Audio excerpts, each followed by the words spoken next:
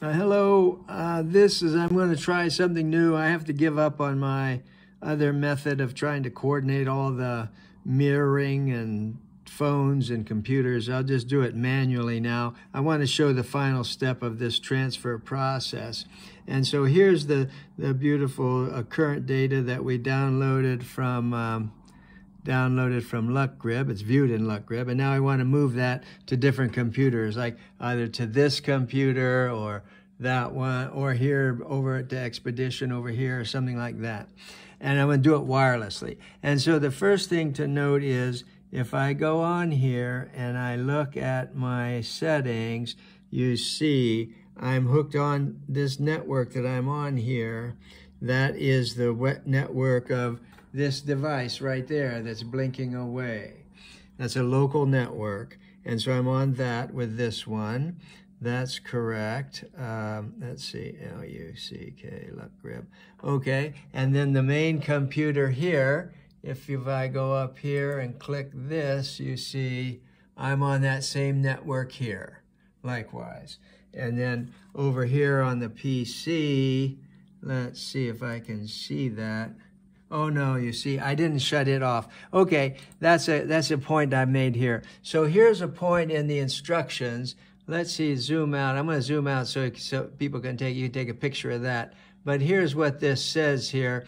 Uh, for practice, you may have to take your local network, the one that you have at home that you rely on. You've trained it to always go back to that one, always find that and log in automatically and so forth. You may have to, for testing, now, once you're on the boat, none of this matters. It'll all work just smoothly. But when you've got your own home network trying to protect you and look after you, it's going to keep jumping in and trying to turn on, and it's going to override. It's going to, oh, I'm sorry, you can't see what I'm talking about. You, it's going to override this uh, local network. So you might have to go into your network system for practice and just shut it off. Say, don't, don't, don't automatic log in. Okay, and so here then are the instructions I'm going to follow through step by step, but we're going to do it down here on the on the phone. And uh, I, I, try, I, I don't want to even say how long I tried to get all this working technically on the one screen, but it didn't. Okay, so we start out with tapping this uh, menu button up at the top. And then here, you're going to slide this to the left. These are all these are all steps in that sheet up there on the page. And I can actually put that somewhere in writing. Uh, and then I'm going to hit share. So once you hit share, then you come down here and we're going to have to move. These are the apps we share with, and I'm just going to have to slide those across. And the file transfer app that we want to use that we discussed in the previous uh, no, uh, previous uh, video. Oh, by the way, the other note is if you've not done it, please read through the description of the video and the other. It has a lot of background information. Okay, so then you would hit other or more is, and now we would just slide this guy up till we see file transfer right there. And then you press file transfer. And then sure enough, there's the file showed up there.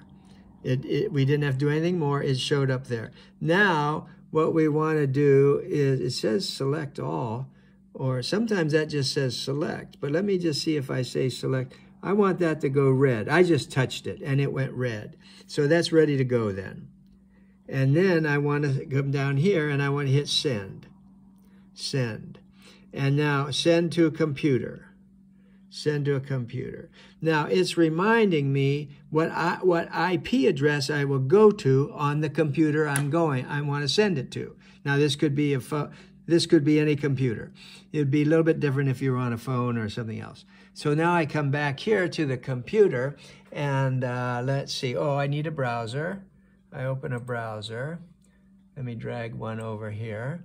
So I have a, now a browser and I set up just a bookmark for that. You see file transfer. And then that, all that did, that, that, I bookmarked that, which is what you would do on the boat. If you're doing this on a regular basis, you would just bookmark that so you don't have to type it in every time. And then there is the link that will bring up this, providing you're on the right network, right? This local network. And now at this point, you just hit download. Now, you would think we were done. The phone actually said this, transfer complete, but I'm not sure it is. Uh, let's say save, and then go up here. But you see, look what it said. And, and different computers are going to, uh, your system's going to behave differently, but you just have to keep this in mind. And you may only have to do it once, once you set this up on the boat. But here it says I have to, it's an insecure network, and I'm going to say keep it. Okay? Now that probably then did the actual download. And I can go now to my, um, to my downloads, uh, downloads here, and look at um, date, and there's the file right there. So I did, it, it moved the file. Now, that, this is going to be not the not a very pretty picture of how to do it, but let me um, let me go here. I'm going to just open QTVLM, you see there, and then I'm going to open a GRIB file, and there's that GRIB file. There's the one we just did right there, and I'm going to say open. And okay, so it, it doesn't know the time, so we have to set the time to the time of the first currents. Okay, there. So there are the currents now in viewed uh, viewed in LuckGrib. Uh, no, viewed in uh, in QTVLM, and you could either move it along with this slider like this, and see them change. Or here's one hour. I've got I've got this set to one hour, so you could do one hour steps and so forth like that. Or you can do things like, look, this is just like one of the reasons you might want to transfer to other programs, just to look at other options, optional ways to look at the data. Now, if I right click at this point and say meteogram, meteogram, then that's going, oh boy, yeah, how good, you don't get a full view. Okay, now I got to go to currents.